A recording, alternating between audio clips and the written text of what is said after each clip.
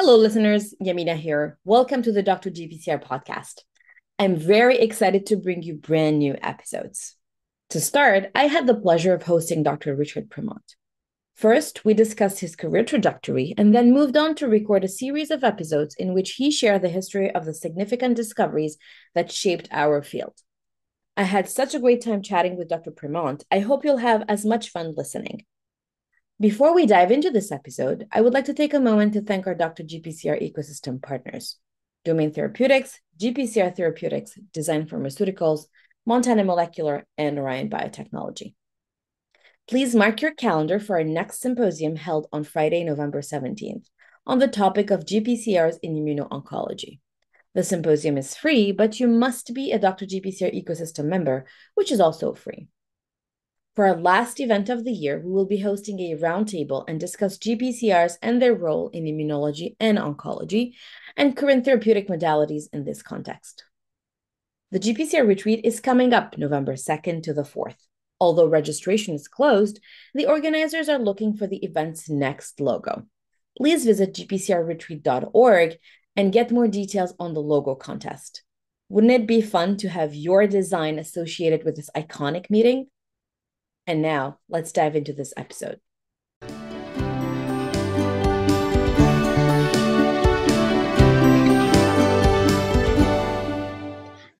Hello, everyone. This is Yamina from Dr. GPCR, and I'm very excited to have back with us again Dr. Richard Premont. Today, we're going to be talking about history, history of our field. Richard, welcome back. Thank you. It's great to be back. Um, yeah, so last time we kind of talked about the history of GPCRs through the vision of G proteins, and that that's that was for a reason. Um, people didn't realize it was a coherent field, right? Until yeah. the beta receptor was cloned, and then beta receptor looks like rhodopsin. All the receptors must look like this, right? That was the, yeah. the immediate implication. Um, but once that happened, now all these people who had been working on their, you know, whatever part of endocrinology they were working on with their hormone, suddenly realize, hey, we're working on the same thing. So suddenly there's a field. And here we yeah. are. yeah, no, absolutely, absolutely. I'm very curious. I don't, I don't know if it's it's planned into into the discussion today, but I'm very curious to hear about. I, I know that for a long time we were able to measure the consequences of receptor activation, but they were not called receptors. Some people were saying, "Oh, it doesn't exist." Things just diffuse and the cells respond. Mm. Um, what was that like? That's really kind of before my own personal time. I figured. so, I mean, it, when when I started in GPCRs was 1985, and so the cloning of beta receptor was 86. So, one of the first projects I worked on myself was looking at the lab was trying to purify the glucagon receptor, mm-hmm. and we had a photo affinity ligand, so we would bind it to membranes and then zap it with UV light and then run it on a gel. And then you you know so you get like a 65 kilodalton band of course because it's a you know normal size receptor. And you could cut it with an endonuclease to get rid of the sugars. You could cut it with proteases and get these different fragments. Um, and yeah so we had a we had a paper on all the different so we knew it was there's a physical thing and we were, we were hardly the first one. So lots of people had done the same kind of thing mm-hmm. with their receptors. So there was no there was no doubt there was one protein that was binding to your hormone yeah. on, on a cell membrane. Yeah. No absolutely. I think i think it's a it's a fascinating the stories that you told last time around g proteins and the aluminum and this the i i had the opportunity to talk to different people and i took the opportunity to tell them this story because i think it's a really interesting and and and cool story behind it. Not a lot of people as of the, the November second, people will know, will know more about it. Uh, but it's very interesting. But if so, you find yourself talking to some of these, you know, some of the people that had were there at the time, you've you've not talked to people like you know Elliot Ross or Paul Sternweis. You have talked to Paul Insel. Yes, and he's got a lot of you know his his perspective on what was going on. So so there are a lot of things that that some of the older folks were involved in that I'm telling the story of. So I wasn't necessarily yeah. involved. Yeah, but you you may talk to some of these people in the future, and you know so now you got you know a teaser to yes i know what to what to where to mm. direct the conversation right all right so uh tell us a little bit more about um okay so let's see what are we in so so basically, yeah. So in the beginning, right, was was the beta receptor. Well, actually, the beta receptor was second, and actually, um, Lefkowitz at one point gave us gave a talk, the importance of being second. Okay. And, and, you see the importance of being second. You know, with with one, rhodopsin. You know, here, here's a receptor, and it's a squiggly snake looking thing, and that's great. Um, but you don't get any general information. But with two, now immediately there's a pattern, right? So now you can yeah. see, oh, receptors look like this um, exactly. and, and, for the first several years, that's what receptors looked like, right? So all of the first receptors that were then sequenced and cloned, whether it was you know from purification or as, as homology sequencing started to happen, um, they all look like this, right? So it was it was family A was the only thing there was for several years, right? So just so kind of bear that in mind. So so I kind of thought you know something to kind of think about as as a thought experiment. So as it turns out, right? The first GPCR to be identified, sequenced, was rhodopsin. And it was not cloned, it was actually purified and then chopped into pieces with proteases. And those protease fragments, little peptides, were then sequenced by Edman degradation. So no mass spec. This is the old, the old-fashioned way where you chop off one amino acid at a time and detect what amino acid is. It had been sequenced from end to end. It was known to be palmitoylated um, by 1983, right? By, by two different groups. One, Paul Hargrave in the United States, and Yuri Ovchinnikov uh, in Russia, in Moscow. And there's a paper by Paul Hargrave in 1983 where it's like, okay, here it is. We find, you know, we had pieces of it, bits of sequence. Now we've, we've got the whole thing end to end, and it has the very first GPCR snake. and the funny thing is, the visual people, you know, so uh, so we think about the surface of a cell, right? So we're on the outside, so receptors are always facing, from our perspective, up, where the ligand comes in from the outside. In a in a rod outer segment, the it's it's actually a vesicle that's flattened. So they actually the first snake and and the visual people always do this. They put rhodopsin upside down from our perspective. Yeah. right, because yeah, the, the the amino terminus is inside the vesicle, which is topologically outside the cell. But yeah. anyway, they, they, always make it upside down. Anyway, but, but that's that's the first receptor snake diagram that we've all mm-hmm. seen so many of, right? Um, so anyway, so once you had two, right? So now, now you can see the pattern there that that there there's probably all of these receptors are going to be just like this. And it really kind of crystallized the way people thought about receptors. And now all the people that were working on, you know, ACTH and TSH and you know whatever endocrine hormone they were working on, um, all those things that were known to be able to stimulate adenyl cyclase and therefore probably went through this G protein NS or GS. Yeah. They probably all look like this right? Yeah. Um, didn't turn out to be true, right? But that that came later. So the interesting kind of thought experiment is: what if one of the other receptors, what if you know the secretin receptor or the metabotropic glutamate receptor had been found as a second one? You'd say, gee, receptors have seven transmembrane spans, but boy, do they look different. And the field wouldn't have done this coalescence quite as as much as it did. I think you know. So it's kind of interesting to think about what what what if, and and a lot of those receptors the first, you know, the secretin receptor was cloned first in family B. It was cloned functionally, right? It was never purified. It's a peptide receptor. They're a pain yeah. in the yes rear to purify. So it was never purified, um, and it was it was cloned by function. And the way it was cloned is really kind of kind of wacky. What they did was um, had a, had a cDNA library from a tissue that expressed the receptor, and they took it in business days when the libraries were in viruses and they broke it down into little pools of like 20,000 clones in a pool. And then they took each of those pools, amplified them separately, and then used them to put in, you know, then make the make the plasmid out of it, and then put it into COS seven cells, right? Um, and then did binding assays on the cells. wow.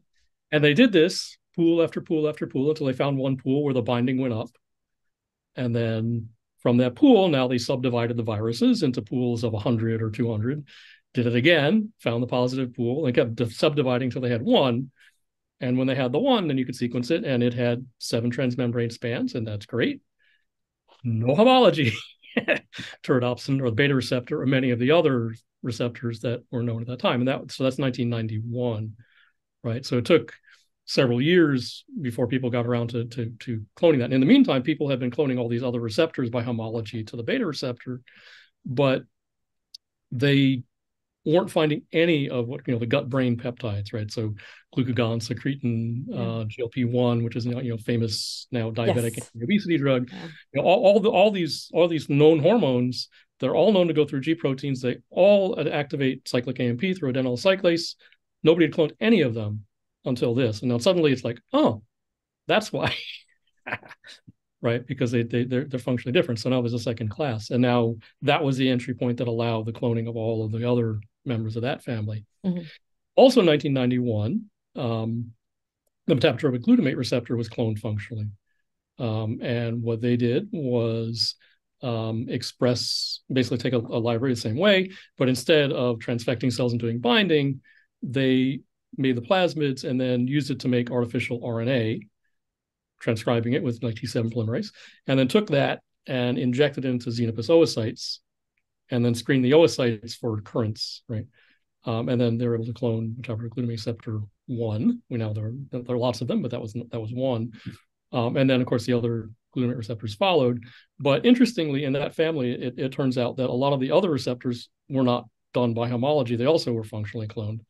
Um, so the GABA B receptor was also cloned functionally um, same kind of technique, um, several years several years later, and then the taste receptors also were were cloned not functionally but by a, a subtractive hybridization technique between taste bud tissue and and tongue tissue to identify clones that were different right?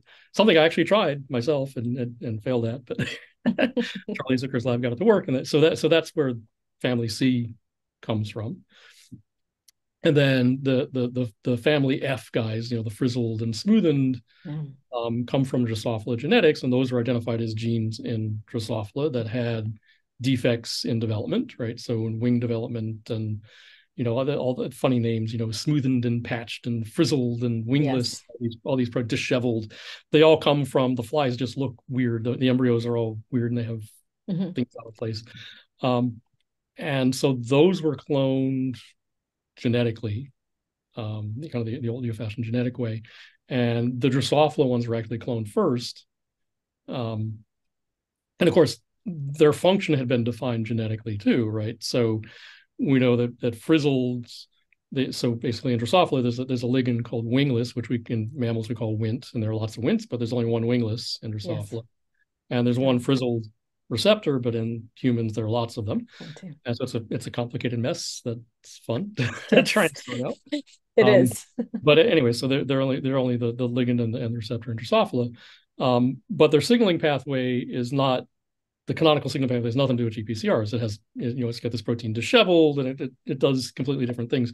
We now know that there's kind of G protein in there and it you know it can bind arrestins, it get you know GRKs are in there. It, it it it is a member of the family, right? But at the time, there was no no inkling that this receptor had anything to do with traditional kind of GPCRs, and it was you know cloned as a by complementation, you know, as a gene, and lo and behold, it has seven transmembrane spans and looks like nothing. Um, so, and then smoothened the same kind of thing, and it, it happened to look like the frizzles, roughly speaking. Um, and again, it's it's traditional signaling mechanism. You know, so it's hedgehog and it's got patched and it's got all these other other proteins that have nothing to do with GPCRs. But again, there's a whole subfield in the GPCR world looking at how these oddball receptors in mammals actually do some of their function does go through traditional canonical G protein, arrestin, GRK, all, all those kind of good good guys. Um, so so basically, yeah. So if if if any of those receptors had been found first, the the field would have been very very different. I think just because it's kind of you wouldn't have had that that instant defining moment that said, "Aha, now now there's yeah. a field. Now we're yeah. well, we think we're working on different things, but we're really working on mm. subparts of the same thing." Exactly exactly yeah. you're right when you think about you know the frizzles and the smooth and and, and the adhesion gpcrs and the mm. you know all of these very very interesting yet non-traditional let's call them uh gpcrs just thinking about it i don't know if if if the field would be what it is today then again i think it took a long time to you know develop the tools to then study these these GPCRs, frizzled and smoothened. Oh, for sure. Yeah. And um, you know, in some ways, we're lucky even, even that the traditional ones are they're tools now that exactly back in the day that are, make life a lot you know a lot easier. The columns anymore. We're not you know. I know. I know. You, you love BRET, you know. Now you can do all the BRET biosensor assays, and yeah, sure, it's Absolutely. Absolutely. I mean, just thinking about the columns and purifying cyclic AMP and then uh and yeah, and I think my biggest issue with it was always that I wanted to test more conditions than the number of columns I had. So I always had to use the reductionist approach. Is what is the minimum? Uh, uh condition. Yeah, when, in grad school, this is what my lab did. So we had 250 or 300 columns, something like that. So you could do, do big assays. Yeah, which, which is why my boss always complained I was always labeling yes, there's that aspect too when you're labeling tubes, and then you need to have the correct marker because once you label it and you smudge the thing with your finger, then you have to go back and relabel. I know uh, the pleasures of doing basic biochemistry. Right. So yeah, so I wanted to get back into some kind of basic biochemistry, as it were. So um, so last time when we were talking, we we're talking, you know, we, we kind of was framing the the the quest to find the G proteins as a race. And in, in that race, there there are a lot there are a lot of players, but fundamentally it was was uh, Al Gilman's lab and and Marty Rodbell, Lutz Birnbaumer groups um, that were the were the kind of the main contenders with a, with a whole cast of other players. I think you know the the field kind of you know we we sit back from from a distance now and you think oh you know Bob Lefkowitz did everything, and and he I mean he did a lot. I mean, there's, there's one, one cannot deny, you know. Um, but there was a race on for the receptors. So I kind of want to go through a little bit of, of, of, of, what, what was going on with that because I think it's kind of interesting and, and maybe a little bit uh, instructive, you know, for how how these things work. So, um, okay, yeah. So basically, the the what what all these groups set out to do was they knew that a variety of different hormone receptors could stimulate the production of cyclic AMP by adenyl cyclase. And the question was, how does that work? Right. So, it, it, is there a receptor? You know, as, as Rodbell had suggested, is there some kind of transducer protein? Turn out to be the G mm-hmm. protein. How does how does the enzyme work? Um, and the goal, kind of you know, starting back in the '70s, back back even when you know Bob was just starting his lab, um, the goal was really to purify all these proteins, not to clone them because molecular biology wasn't really there at that time. The goal was to, to, to isolate all the individual components of the system and put them back together to make it work, right? So yeah. could you purify a receptor? Could you purify this transducer protein? Could you purify the enzyme effector protein? Yeah. Put them together and make it work and have it recapitulate what you see in a native cell or in, in a tissue.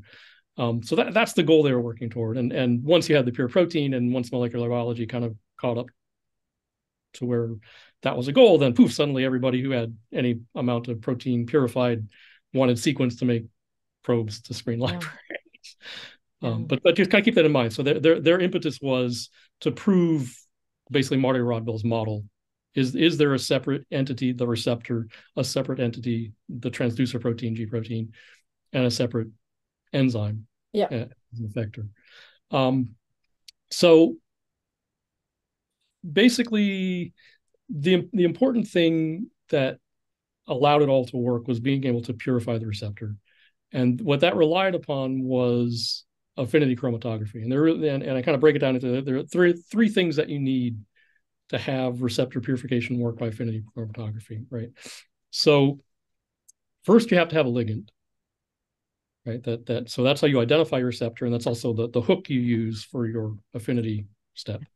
Um, and second, you have to have a place that your receptor is, so a tissue where you know that it is, and it's at as high a level as you can get. But kind of a secondary consideration is it has to be a tissue that's available, right? Okay. Um, and then well, while while you look into into your notes, you know, you yeah. mentioned taking the different components and putting them together and see how this works. I was recently at the Discovery on Target conference, and uh, Septerna was presenting. Mm-hmm. And interestingly, there were the native complex. I don't know, and I'm not sure from Septerna's perspective, what does that look like, the native complex? But this that you what you just mentioned, purifying all the components and have finding a way to see uh, actually kind of thinking about blocks and lego blocks and putting these things together and see what is the consequence of these pieces being put together. That's what it reminds me of. So and mm-hmm. since it started out in, in bob's lab and bob's uh, you know coming out of, of the of that team it makes i don't know it, it makes sense to me or there's a flashback here too what was then what you just mentioned and what is now right yeah. So I said three things, and, and and third thing was basically you had to identify a detergent to get your receptor out of yes out of the membrane. So okay, so I'm going to kind of go through go through all these points kind of kind of individually. So so lots of people had you know had had their endogenous ligand for a receptor, right? So so Bob started looking at binding assays using ACTH. He got one of the very first binding assays to work for a hormone receptor back when he was at NIH. Right. So that's that was his initial claim to fame was actually getting that assay to work, right? But that's a peptide. And even today, I don't think there are very good small molecules for ACTH um, receptors. So um, having having ligands that are amenable right are, are important so you notice that bob very quickly switched out of acth and then decided to work on adrenergics and that i think was not an accident right so so the last episode we are kind of going through the the, the nobel laundry list Uh, of, of how the field you know won, won its Nobels, and there was kind of one oddball, and the uh, what I that included, and the reason I included is this. So Sir James Black won the Nobel Prize for basically medicinal chemistry and and rational drug design, and but what he what he actually did was design drugs for receptors, and specifically the beta adrenergic receptors. So he's the one who made isoproterenol. He's the one that made propranolol and a whole host of other you know, there are a whole bunch of other analogs. So those were all done in the 60s. So by the time Lefkowitz and others were starting to think, okay, can can we look at an adrenergic receptor? There was a really deep toolkit, and it, it only got better over years as people kept looking for more and more ligands. So choosing what receptor to work on made a big difference, right? So all the people that decided to work on a peptide receptor, they pretty much were riding on the coattails of the people that were working on the ones that had you know natural kind of small molecule ligands. Because it's much easier to make a small molecule analog of a small molecule right?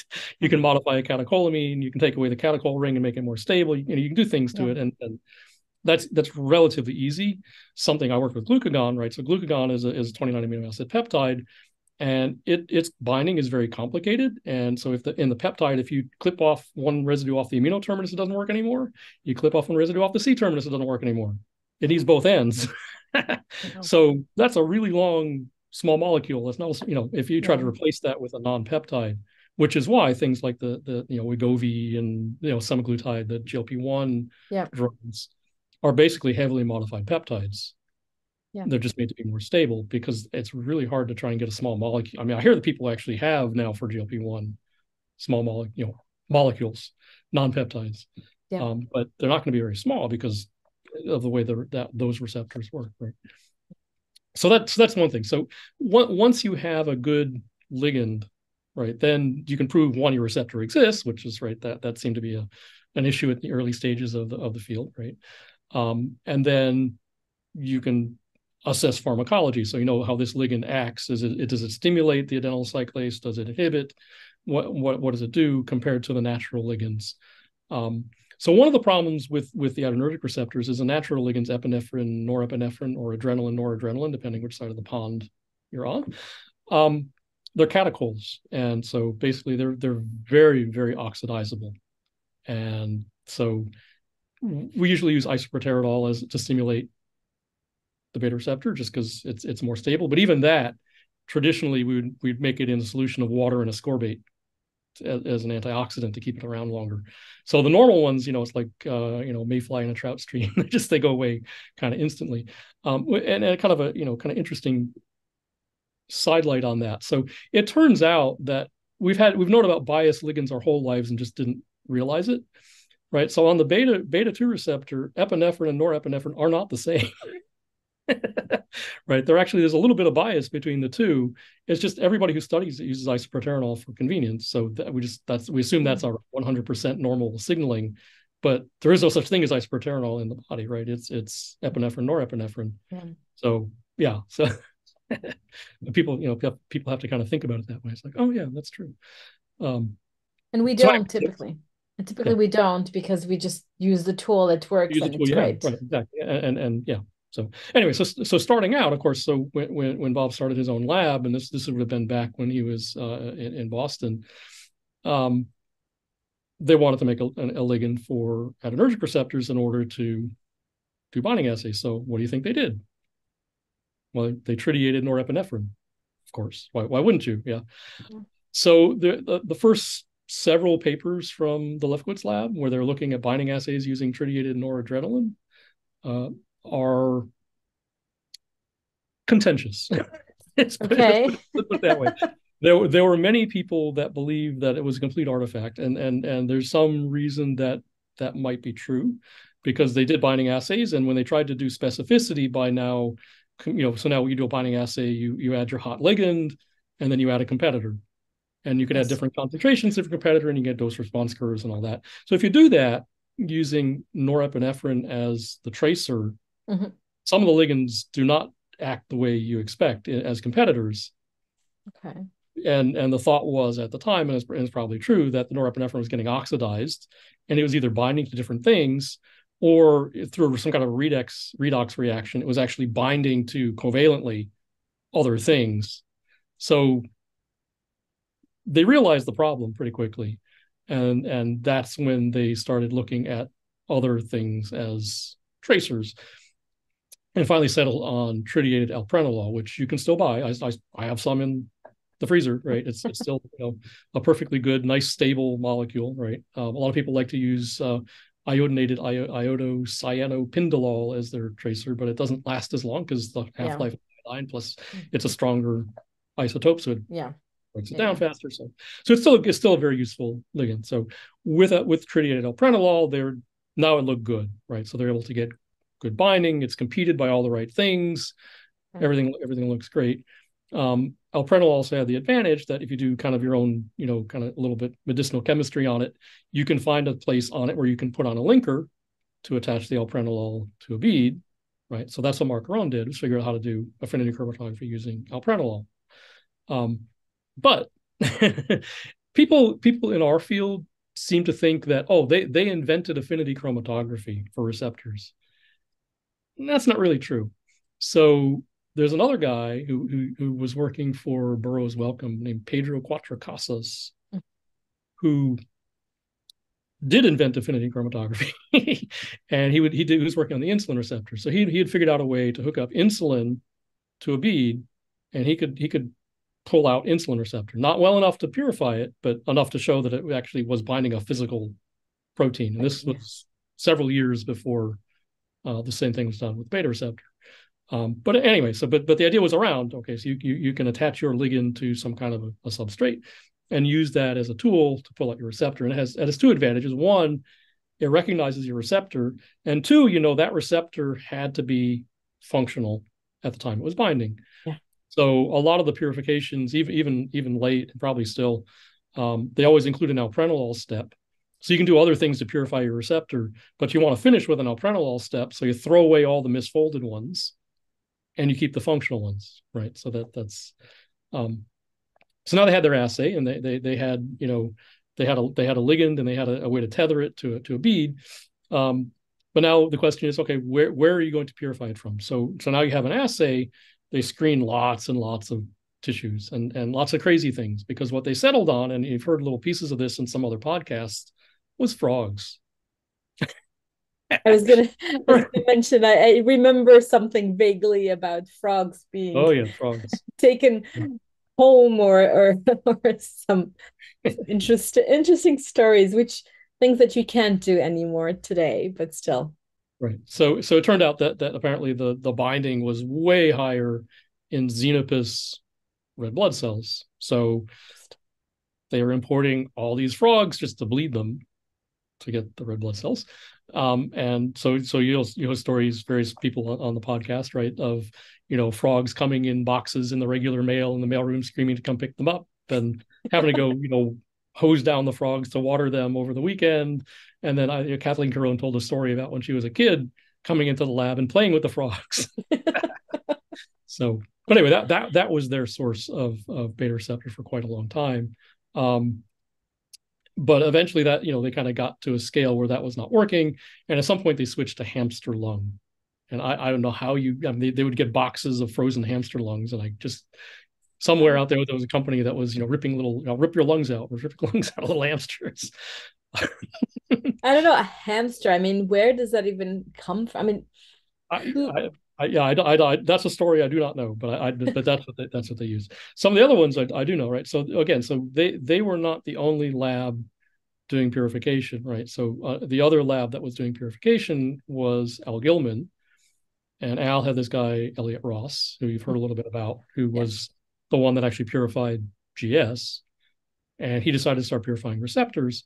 And they were they thought, oh, red blood cells. Okay, we can we can do that. They worked with turkey red blood cells, and the reason was because there was a turkey processing plant not too far away in Dallas, so they could get a lot of turkey yeah. water. Um, So they're trying to purify, you know, the the beta receptor from, and, and, they did. And we'll get we'll get that in a little bit. Um, but there are other other you know weird, weirdo sources out there, right? So I, I, I last time I told the story when we were purifying G proteins, um, the Birnbaumer lab was using outdated human red blood cells to purify GS, um, and you know, kind of in the in the in the age of AIDS, it was a little scary how much blood they would go through. Yeah. Um, but yeah, so basically having a source for your molecule that's that's it's a it's got a good amount of the thing you're looking for, but also yeah. it's accessible right? So rhodopsin wins hands down, right? Because there's not a lot of retina in an eyeball, but all the all the visual people use bovine retina, and you know I like steak. Lots of people like steak, so there's an unending supply of bovine retinas.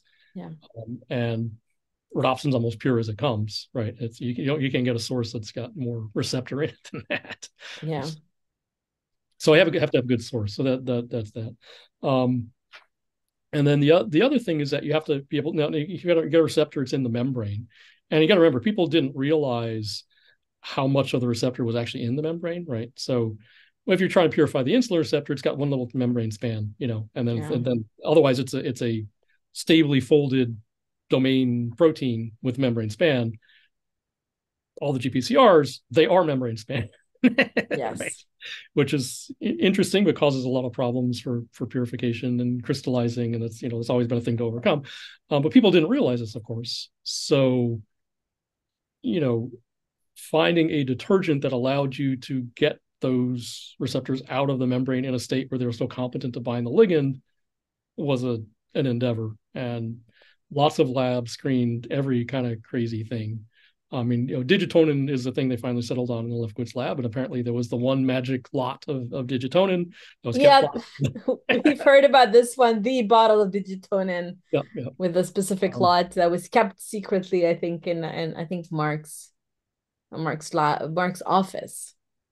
Yeah, and and and we kind of think, oh, digitonin, oh, that's a detergent, but it, it it's not. I mean, it, it is, but it's not. It's it's a you, you, need a lot of it for it to be acting like a detergent. It's not you know it's not like SDS that's yeah you know.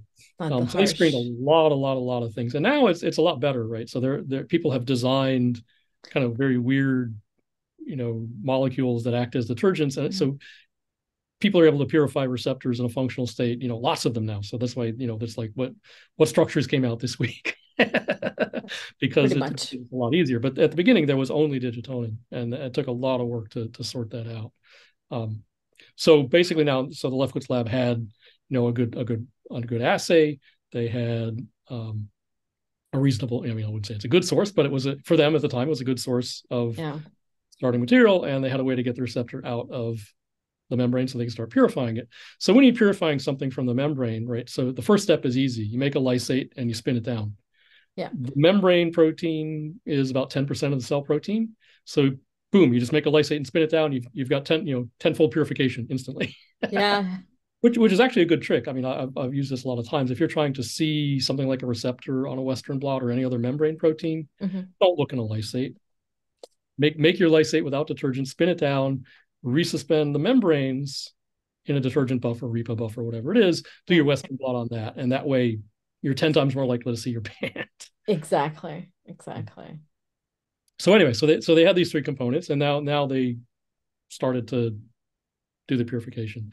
Um, and and it took you know a lot of postdocs, a lot of years to to to get it to really work well. Um, and they you know along the way again they they switched from using you know frog or blood cells to doing hamsters. Um, and hamsters seemed it, it, it just it seemed to work better for whatever reason. So finally they got some of the purified receptor. And as I said at the beginning, what what the goal was originally was to reconstitute it to get the system to work with just pure proteins. Yeah. So this was, I guess, published in 1984. Um, so Rick Cerione, Rocco, um, who, who was in, uh, in, in Bob's lab, was the recipient of all these gift packages. So from his own lab, they purified the hamster beta 2 adrenergic receptor. And then from Lutz Birnbaumer's lab, they purified NS. If you look at the papers, it's always NS, but a GS uh, from human red blood cells. And then um, from Neer in Harvard, adenyl cyclase, which was less pure than the other proteins, but still yeah. substantially pure. And she she purified from from brain. I'm trying to remember what it was. I think it was cow brain, but anyways, from brain. Um, but it's all different species, right? So so basically, you know, Rocco has a story that you know, he, he did this Frankenstein experiment because he put together the hamster receptor, the human G protein, and I think the cow adenyl cyclase, reconstituted into a vesicle, and it worked. wow. so they were able to make the system work. So you could add you could add a hormone, you, as long as there was GTP around and ATP and a little bit touch of magnesium, you get wow. cyclic AP coming out the other side. So that's all you need, the three proteins. Um, so in the meantime, right? So what, once the Lefkowitz lab had had a workable purification going for the beta two receptor, they also in the background were also working on the other adrenergic receptors. So they, were they were purifying the alpha one receptor. Yeah. Only one because they only knew about one, and and the you know beta so beta one beta two had been known, but but alpha was alpha one and there was alpha two, only one at the time, and they were purifying alpha one and oops, sorry, I need to. No worries. I, I find it fascinating phone. when you, you you my, put... my phone started buzzing and, and I had my phone off, but my computer uh, yeah, yeah, picked up. Yeah, yeah. No worries. We couldn't hear it. So, but okay, then while while while you were doing that, I was just thinking, oh my God, you just you purify these proteins from different sources. Mm-hmm. You put them together and it works. I mean, well, isn't it beautiful? Yeah, yeah. It's amazing. So anyway, so so basically the, the Lefkowitz lab is also purifying the, the alpha one receptor and the beta two, I mean, and, and the alpha two receptor. Um, and alpha one if that's right. Alpha one's coupled to phospholipase C, which that that that whole mechanism was very fuzzy, and GQ was not really identified at that time. So it was, a little it was a little tough. But they he also you know he also reconstituted the alpha two receptor with human red blood cell NI or GI that Birnbaumer lab had purified plus adenyl cyclase yeah. and was able to reconstitute receptor stimulated inhibition of adenyl cyclase. So both those things they're able to do.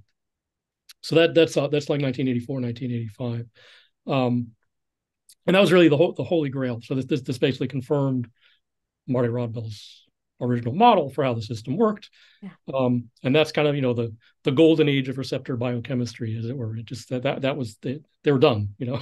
I love it. Right, but in but in the meantime, right. So now molecular biology had kind of come of age. Um, and so now people started to turn their attention to cloning, right? So th- those that had some sequence now they had some some work to go with. Yeah. Um, but anyway, so um, basically with with the receptor sequence, um, they're able to get a little bit of peptide sequence, make some degenerate oligonucleotides, and go fishing. And the problem was basically at that time, cDNA libraries were not very good. So they didn't have a lot of depth of coverage. And and if you if you look now, now it's all you know, uh, um, you know, transcripts per million from like RNA-seq experiments or whatever. Um, the receptors have very low RNA levels. So they weren't finding anything, weren't finding anything, weren't finding anything. Um, and this was, you know, kind of some of the best people in the world, right? So this was this was the, the group at Merck that was, you know, Richard Dixon, Kathy Strader, yeah. Sigal, um, and they just weren't getting to work.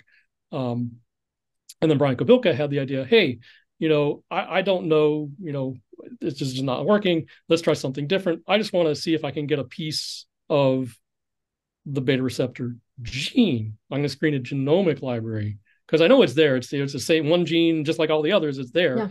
and I'm just going to get a piece of it, or I'm just going to get an exon, but I'll have the actual exon sequence instead of a guess with the degenerate probe. Yeah. With that, we'll have a better probe to go fishing in a cDNA library. So he screened, and they found a clone, and they started sequencing, it. and you know, of course, it sequence just kept on going because there are no introns. yeah. So poof, they were done. so basically that, that that bright idea of let's let's let's let's try something different. Let's go look in the genomic library, see if we can just get a piece that'll help us. Well, the rest yeah. solve, their, immediately solve their problem. So with that, they they they had their sequence, and that that was uh, published in 1986, and basically the beta receptor looks for all the world just like rhodopsin. So wow, or all receptors do. yeah. Yeah. Class A definitely have the same, yeah, the same features. Interesting. Yeah. But okay, so so that's 1986, right? So as I said, there was there was a race going on for trying to purify and clone receptors. Um, so also in 1986, the, the Elliott Ross in, in Dallas working together with Axel Ullrich, who was you know, the king of cloning at Genentech, uh, which is the feared Genentech group, uh, also reported the sequence of the turkey beta receptor. And it's not it's not a beta one and it's not a beta two. It's kind of turkeys a little, you know, birds are a little different. They don't have beta one, beta two. They just have beta. So the, the sequence of the turkey beta receptor was also published in 1986. Oh. So, but not only that, there was another group uh, uh Shosaku, get the name right. Da, da, da, yeah, Shosaku Numa uh, in Japan had been purifying muscarinic receptor from pig brain, and they got some sequence. So they they identified the M1 muscarinic receptor, and they got a clone and sequenced it, and they published in 1986 as well. And then they noticed something funny and of course, all, all these receptors, they all they all look like rhodopsin, right? But they noticed something funny. So they, they had a bunch of peptide sequences. And when they looked at all their peptides, trying to match them to where they were in their receptor, there were some that weren't there. But they looked very similar. So I said, that's weird. I wonder if there's a second one out there. So they took those other peptides, made new probes, screened again, and got the M2 receptor. so 1986, no GPCRs at all. Rhodopsin, you didn't know it was a GPCR. Beta 2, Turkey Beta, M1, M2. it, it's interesting. You know, when I think about, a G, especially, okay, let's let me track back. For potentially my generation and afterwards, when you go to UniProt and you're looking up a GPCR, you're thinking about working on GPCR, it is highly likely that you're thinking about a human GPCR. Sure. Right. Not a turkey or, you know, whatever yep. other species. So just listening to you telling these stories kind of puts things into perspective as to we didn't have the tool, so we had That's to right. use tissues to purify the protein to actually prove that if you put the components together, mm-hmm. things happen. And then and then cloning happens then only. You, right right and then and once you have a sequence then yes. some of the same groups and then some other groups jumped in to clone them from other species exactly so people want you know well not at this time but later people would want the mouse version in order to make knockouts yes right study physiology in mice um, other people would immediately go oh i want i want i want the human sequence because i'm you know all, all the drug companies i mean it's, it's so we the Lefkowitz lab went, went and cloned several, and then and then there's subtypes too, right? So people didn't know that there was alpha one ABC, you know, eh, or alpha two, AB, you know, beta three wasn't known, right? So there are all these subtypes, um, and once once those were identified, and then you got the human versions. So in the Lefkowitz lab, they cloned many of these, the human version, and then they would license them out to pharma for a lot of money, a pretty penny. They made a they made a you know so they they kept us our lab meeting in uh, donuts and croissants and pizza for a long time because that's slush fund from all the all the licensing fees for all the human versions of the other receptors. But anyway, yeah, again, that gets back to the beginning, right? So you had to have a source, right? So yeah, nobody really. I mean, so some people were actually using human red blood cells, and I'll tell you in a second that that that, that um, other other human tissues were, were were also being used. But for the most part, you're working in a model organism because that was just what was accessible, right? Um, so people kind of think back and say, oh, from, from that beginning, then it was just this immediate kind of explosion of receptor identification. But actually, it was kind of a it was kind of a slow start. It took a, there was a lag. It took a couple of years to kind of catch on, right? Um, so that was 1986. So in 1987, um, Lefkowitz lab had purified the alpha two receptor and got some peptide sequence and screened the library. Um, and that was the first alpha two. There are three uh, subtypes, but that was the first one. Um, and they also identified the first orphan, right? So um, they took the beta 2 receptor sequence and screened a library from a different tissue. And I, am I'm blanking on what the other one was, trying to find the they knew that there was beta 1 and beta 2. So they wanted mm-hmm. to get the beta 1. And they found a clone that they called G21. Um, and it was not the beta 1 receptor. And they're like, I don't know what this is, but GPCRs were so new it's like you know, several years ago, if you had a structure, it didn't matter. You get it on in nature, right? Yeah. People were so new as as clone things, they got this orphan published in Nature, mm-hmm. and then the next year they got a second paper in Nature saying it was a serotonin receptor. Oh goodness! not any other was it was a serotonin. Wow. well, of course, because there's so many of those. It's hard. It's hard not to be a serotonin receptor. Yeah. um, but the interesting thing they did is that now they took this this G21 clone and they screened a library with it and they found a clone, and that turned out to be the beta one receptor that they published, I guess, in 1988 or 87. Mm-hmm. Um, so that was basically all. You know, at, at that point, nobody else purify really purifies a receptor, gets a peptide sequence, and clones it. That's that's almost done with at this point. Now mm-hmm. it's like it's all it's all homology based screening, yeah. and that's when it kind of really takes off. Um, so looking back in the literature, so the the the term G protein coupled receptor first appears September 1987 in two different papers, one one by the Lefkowitz lab and one by uh, Gary Johnson. Mm-hmm. Uh, so, um, and, and, at that point, it's like people real, realize, ah, yeah, there's a coherent name for this thing. Yeah, the beast has a name now. yeah. Um, okay, so so now basically they have, you know, an alpha one, an alpha two, the two beta, beta one, beta two. Yeah. Um, and now people start poking around and they find, oh wait, there are more. so you know, it turns out there are there are three alpha ones, there are three alpha two adrenergic receptors, there are three beta receptors.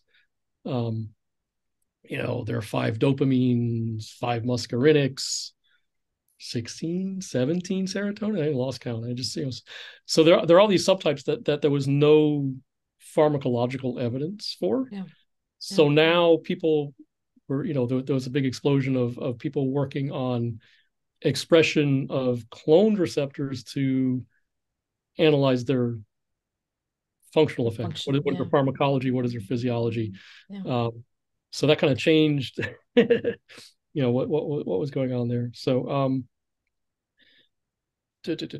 is there a time? Do you remember? I, I, you may not have the answer to this, but I'm wondering because you mentioned so all of these first cloning a receptor meant having a nature paper, especially in the beginning. Oh, for sure, absolutely. How how many receptors were there were there cloned or known until it didn't before before it, it dribbled down to JBC?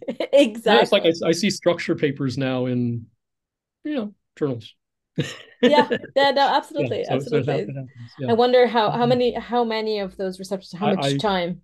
I, I, I, I'm, I'm sure it didn't take too long. I, I, I, couldn't I couldn't tell you specifically, it, and it's hard to look, you know, because if you go back to the literature, you almost have to search by someone's name and yes, the, the, yeah. The term GPCR isn't even in many of the, Yeah. the papers. So it's hard to Yeah. it's kind of hard to search. Just like if you wanted to search for, you know, the old old protein, you know, old old papers on like G proteins, you you hit a limit where the it, the name G protein isn't used anymore, and then it's like G slash F or NS or you know, some other term, um, and yeah, Yeah. so Interesting. but yes, it, it, that that certainly happened. Can I ask you for a favor? Please subscribe to our Dr. GPCR YouTube channel.